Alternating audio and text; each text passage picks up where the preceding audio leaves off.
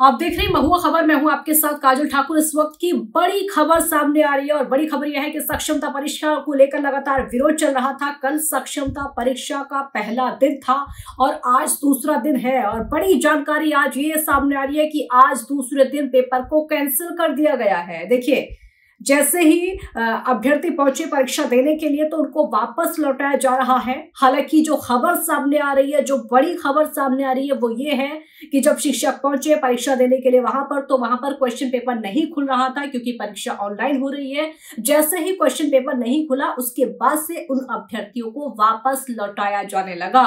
एक एक करके सभी अभ्यर्थियों को वापस लौटाया जा रहा। हालाँकि कारण अभी तक सामने नहीं आया कि ऐसे कौन से कारण है, जिसकी वजह से परीक्षा पत्र, जो कि क्वेश्चन पेपर है, वो खुल नहीं पा रहा है। और ये घटना दो जगह सामने आई है। तो पटना में, दूसरा भागलपुर में सामने आई है। दो जगह ऐसी घटना हुई है, जहाँ पर सक्षमता परीक्षा देने के लिए पहुँचते हैं अभ्यर्थी, लेकिन वहाँ पर क्वेश्चन पेपर खुलता नहीं है, जिसकी वजह से अभ्यर्थियों को वापस लौटाया जा रहा है। और अभ्यर्थी उदास है इस वजह से, क्योंकि उनको बिना परीक्षा दिए वापस लौटाया जा रहा है। देखिए, बहुत बड़ी चूक इसको कहा जा सकता है। बहुत बड़ी प्रशासन की लापरवाही इसको कहा जा सकता है। आखिरकार तैयारियाँ तैयारियाँ पूरी क्यों नहीं की गई थी, जिसकी वजह से वो क्वेश्चन पेपर खुल नहीं पा रहा है? आखिरकार ऐसे कौन सी तकनीकी खराबी आ गई जो कि परीक्षा के समय आनी थी, क्योंकि बहुत महत्वपूर्ण परीक्षा होती है, जिसके लिए तैयारी की जाती है और सक्षमता परीक्षा को लेकर आपने देखा ही है किस तरीके से शिक्षक लगातार संघर्ष भी कर रहे थे। सड़कों तक ये प्रदर्शन आया था। उसके बाद भी ऐसी स्थिति आ जाती है कि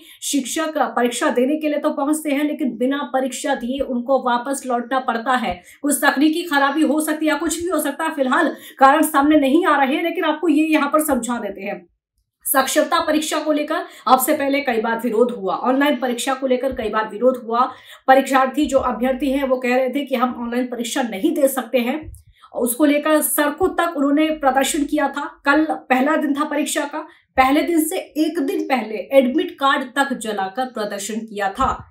शिक्षकों ने अपने एडमिट कार्ड जला दिए थे। उसके बाद भी प्रदर्शन किया था। तो तमाम प्रदर्शन का जो उग्र रूप देखते हुए और गुस्सा देखते हुए जिस तरीके से अभ्यर्थियों का गुस्सा देखने को मिल रहा था, सड़कों पर शिक्षा मंत्री के आवास का घेराव कर लिया था, वो शिक्षा मंत्री से मिलना चाहते थे, उनसे मुलाकात करना चाहते थे, बातचीत करना चाहते थे, बहुत सारे ऐसे सवाल राज्यकर्मी के दर्जे को लेकर। देखिए, अब राज्यकर्मी का दर्जा कैसे मिलेगा? क्योंकि उन शिक्षकों का लगातार कहना था कि बिना किसी शर्त के राज्यकर्मी का दर्जा हमको चाहिए, वेतन को लेकर लगातार प्रदर्शन कर रहे थे। उसके अलावा तमाम मांगे थी, समय को लेकर भी प्रदर्शन किया जा रहा था।